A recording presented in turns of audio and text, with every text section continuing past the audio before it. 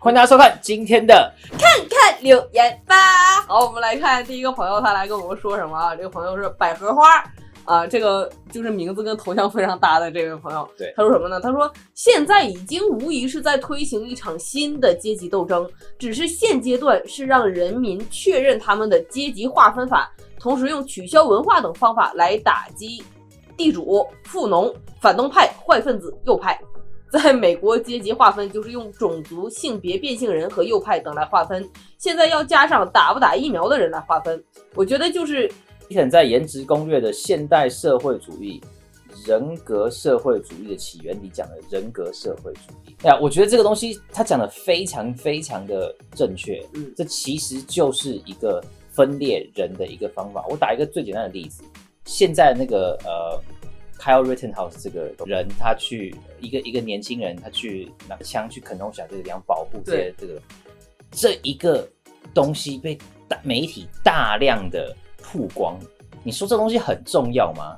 其实是还好的一件事情，他们跟这整个 narrative 都完全不吻合，因为他是一个白人在那边枪杀了三个白人，嗯。然后呢，有一群白人在那个地方打砸抢，就是从头到尾都是一群白人在做一堆坏事的时候，然后呢，一个人去拿着枪防卫了他自己，这个跟左派的这个想法原来是不一样的。因为左派的话，你一定要是杀黑人，像什么 Derek Chauvin 啊、Jacob Blake 啊，是怎样怎样，但他们现在分得很清楚，就是。只要他们的 narrative，他们的观点是这个样子的，你就一定要百分之一百的觉得说，我一定要跟着这个方向走。然后他们就不断的创造各种各式各样的谎言，然后让你去一定要去接受这个东西。如果你不接受的话，你就是个种族歧视的人。那这个就是一个阶级斗争，就是他们不在乎对错，他们不在乎是真的还是假的，他们只在乎他们的观点，只有他们才可以说出事实，只有他们的事实才是事实，然后你一定要接受。那这个就是重新定义善恶的一个东西。那么他们现在在做的事情，真的就是把种族啊、性别呀、然后什么右派、左派这东西，这都是他们的理由而已。他们要的东西只是你完全的服从。啊，但是我们跟那个时候的这个，就是他们推行的，在中国推行的那个东西，其实是有一点不一样。为什么？因为当时在中国的人完全搞不清楚发生了什么，嗯，他们没有去借鉴历史或者什么，而且中国人就是对皇帝的这个制度已经是非常熟悉嘛，所以他们不觉得这个有什么。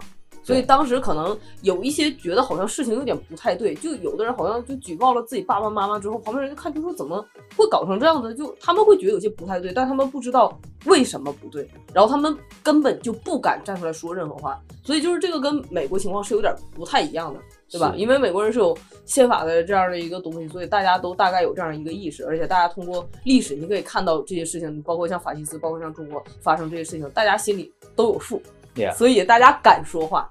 啊跟那个时候情况是不一样，所以我觉得不会至于走到那么糟糕的一个完全被掌控的地步，因为是有人是清醒。的，嗯，那就是要看我们会多后退。对，然后是我们的力量集合起来会有多大，嗯就能不能把这个东西给它打掉。好，来看下一个朋友哈，他说左派的唯一贡献就是证明了人的罪性是无药可救的，只有耶和华和耶稣可以拯救人类。对了，我觉得很多时候就是为什么说现在很多州翻红或者怎么样啊，这都要感谢左派。就他们在做的事情其实起到了反作用，对不对？他们有时候拿一些什么东西，社会运动啊，讲一些好听的话，忽悠忽悠人，大家就都上套了。哎，其实并不是这样，因为大家真的看到说真实发生了什么，这一部分左派的所作所为也是觉醒了一大批原来是坚持支持左派这些政策的人了，让他们变成了一下变成了保守派。呀、嗯。然后呃，我觉得很可怕的是，呃，很多人就是我教会里面的人，他们是不知道这些事情的，他们是完全对这东西是完全没有概念的，就是没有看新闻。问他问他说那个什么 Virginia 的什么校董会，然后怎样怎样怎样怎样，然后那个人被抓了，然后男生跑到女厕所里面被强奸了，或者他们是完全不知道的。所以说有很多很大一部分的人是没有在看我们的新闻，对，那包括连我的教会的里面的人都是这个样子。哦，那也正常嘛。嗯那么真的左派唯一的贡献就是证明了人的罪性是无可救药的。是，这个是圣经里面一直在强调的东西，就是你不要把自己的想法当成是比神还要高的一个想法，然后这就是目前最可怕的一件事情。整启蒙运动，然后什么呃灭神论啊，什么什么之类的，一切就只是因为人认为没有神，然后人认为说自己就是最高的这个主宰。对，那当他们这么做的时候，他们觉得说我可以决定我自己的人生，但是我不能决定他的人生嗯。当他不听我的话的时候，我就觉得说你为什么不听我的话？对，然后他就一定会去试图控制这个是东西。很多在服侍的这些 leaders，他们会说，为什么别人都不来找我？为什么别人都不过来？像说呃牧牧师跟师母好了啦，嗯然后为什么大家都只找师？为什么大家都不找师母？是不是我只是一个 tag on 或者是什么什么什么之类的？嗯我听到这个的时候，我就觉得说，哦，原来每一个人都是会这个样子想的，因为嗯每一个人都会觉得说，哦，为什么别人不听我的？为什么怎样怎样怎样？然后很多教会会觉得说，哦，我们缺乏领导，我们会缺乏什么样？其实我们缺乏的不是领导，嗯每一个人都想要领导，每一个人都想要领导自己的人生。我们缺乏的是什么？我们缺乏的是 responsibility。大家都想要带人，大家都想要带着一群人往前冲或怎样，但是没人想要负责任。每一个人都觉得说，哦，万一出什么事的话，我要那个人帮我扛，我要这个人帮我扛。今天啊、a i News 如果说啊出事了，经费没了，嗯然后我们就说，哦，那就没有啊，那炮要扛啊，炮长老要扛啊，那这样子的话，我们就不可能去往前进。嗯所以说，我觉得左派跟右派最不一样的地方，就是右派的人，we take responsibility to ourselves，我们让我们自己说，我们一定要为了这个东西负责。就像我们两个出来去做这个 AI News 这个东西，我们就是想要为这个事情，我们就是要想要为这个事工负责。那么教会不缺乏领导，你要找领导人，到处都是，每一个人都想当领导人，每个人都想当 manager。I I manage other people，我控制别人的人生。但是你在控制的时候，或是你在要去做这件事情的时候，you need to have responsibility 你。你需要为你这些人负责，你不只是为了你自己负责而已。所以说，最可怕的就是想当领导，但是不想要负责的人。那左派的每一个领导人，你看了都是这个样子的人，包括 Joe Biden，发生什么事？哦别人的错，AOC 发生什么事？别人的错，我的 Abuela 房子烂掉了是川普的错，都不是自己的错，这些东西我觉得都是我们可以看得出来的，所以说我们不要当左派的。对，还有一点就是说，想当领导哈，或者是不管是想做什么吧，一定要按照神的心意去改变自己。嗯我觉得这个是最重要的。不管你信主十年、二十年，OK，你还是原来那个样子，你会把人领导成什么样？Yeah，这是非常非常糟糕的一件事情。然后，如果说你碰到任何事情，你一直都是在指控别人，你永远都觉得自己是无辜的，然后你的生命永远都没有改变，这是非常非常糟糕、非常非常可怕的事情。这样人可以让他当 leader 吗？不可以，你就给我下去。因为什么呢？不管是说像我们事工，或者是怎么怎么样，或者是你个人的人生也好，或者是你在教会里服侍也好，等等等等，不管在任何方面，如果你没有办法去跟神的心去贴近的话，这就会像左派一样，到最后的结局就是这样，就会烂掉。嗯不管你是信主了十年二十年，我可以你随便挑一个哥林多后书的经文，我可以马上给你背出来，跟这个都没有关系，对不对啊？所以你看，就像我们施工，我们也是有宗旨嘛，就是我们是一定要贴近神的心意，我们才能这样往前走。不然的话，你说就按照你的意思或者按照我的意思，那都不行，按照谁的意思都不行，这会出很大很大的问题啊！我觉得是蛮重要的事啊，就是不管说信主多多少年哈，或者是怎么样，一定要时刻来到神的面前监察自己，就是不要去找别人的问题。找自己的问题，因为别人有问题的话，你没有办法去解决。你说，哎，你有问题，你怎么不改啊？那你能管了吗？你就只能管自己，对不对？你别看别人，自己每个人身上毛病全部都一大堆。没错，所以就是来到神的面前，你问问神说：“神呐，你觉得我哪里有问题啊？你觉得我哪里能改正啊？对不对？两个人要是吵架了，互不相让，那我就让着他，因为我没有办法改变他。我嗯改变他什么？我怎么改变他？我不能教训。哎，神说什么什么，他听吗？他不听。Yeah 所以就是要改变自己，把自己越来越贴合神的心，这样就有很多东西全部都迎刃而解。好，来下一个。好呃，我记得打完疫苗，为了怕副作用的后劲，都不建议做太刺激的事情。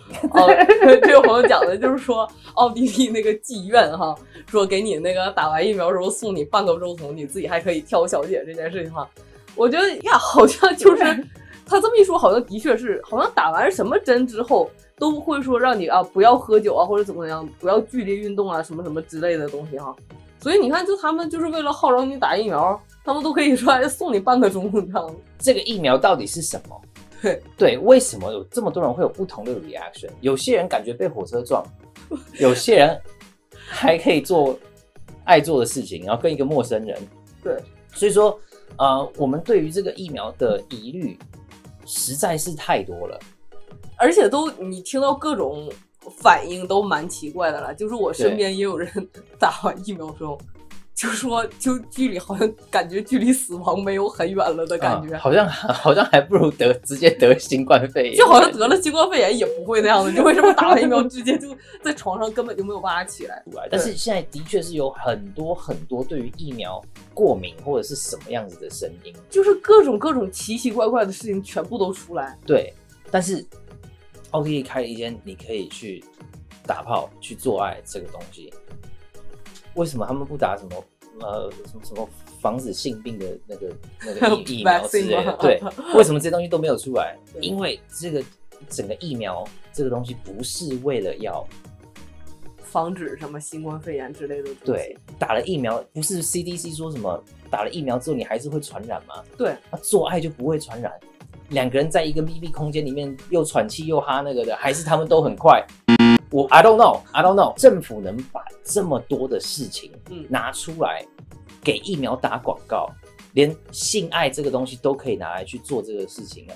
就找小姐。对，就表示说这个疫苗到底是什么？这个疫苗就是一个让你上瘾的一个毒品而已。一个政治工具了。对，它就是只是让你就是到这个 bandwagon 上面，你是听我的，你是服从的，只是这个样的东西而已。所以说，我不反对疫苗，但是经过政府这么多的这个动作之后，我真的就觉得说，这个疫苗根本就不是疫苗，对已经完全跟防疫没有任何意没有关系了。对好，那非常感谢大家收看我们今天的看看留言吧。那接下来呢，还是依旧为大家提供非常非常好看的神奇传播给我们大家提供的传福音的小动画片儿。拜拜，我是弗丽莎，我是 Ethan，那我们就下次再见了，拜拜。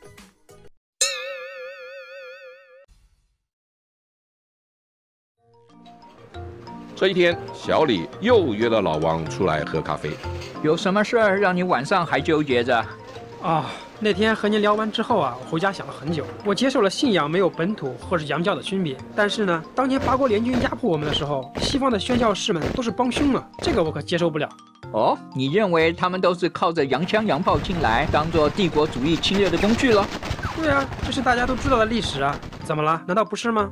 其实啊，我们很多人都对这段历史有错误的认识。虽然许多宣教士是跟着不平等条约进入中国，但是他们却没有参与压迫中国人的行动，反而对那时代的中国人带来许许多多重大的贡献。哦，此话怎讲？满清末年的时候，采取锁国政策，外国宣教士一直不得其门而入。后来因着清朝与各国签订五口通商等条约，而有机会进入中国。嗯，他们放弃了在自己原来国家里优渥的生活和事业，来到落后贫穷的中国，给中国人带来先进的医疗、高等教育、戒除鸦片、扶助贫困等重大贡献。哦，这是真的吗？是啊，中国妇女千年来缠足的恶习，是在英国宣教士麦加温夫妇十多年的努力奔走下才得以解放的。哦，除此之外啊，大家都不敢碰的麻风病人，也当时只有宣教士建的麻风院才肯收留他们，医治他们。至于孤儿院、养老院这些慈善事业，外国宣教士更是出钱出力、牺牲奉献的为中国人来付出，这些都是历史上有凭有据的。啊、那之前太孤陋寡闻了。这么说，外国宣教士原来对我们的贡献实在是了不得，我还真的是误会他们太久了呢。唉，所以，所以什么呢？所以我觉得外国宣教士绝对不是什么侵略者。